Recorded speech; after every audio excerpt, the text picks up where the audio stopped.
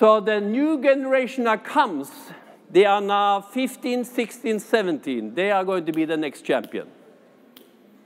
They are going to represent the new thinking, the new development in Latin and Standard.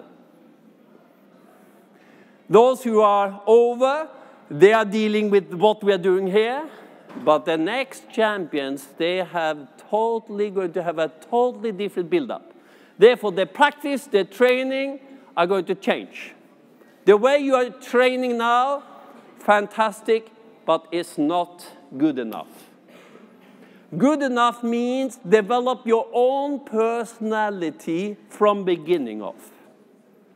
So therefore, in the year 2000, means 98, 99, 2000, 2001, we had a big revolution with the Gyrotonic coming in.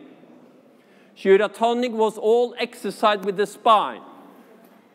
And now we are using all that but later, we are going back to China with the Tai Chi, plus new development of exercises which is going to fit the future.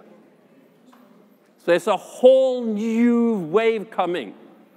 And it's all built on the inner feeling and the capacity of the human being in itself.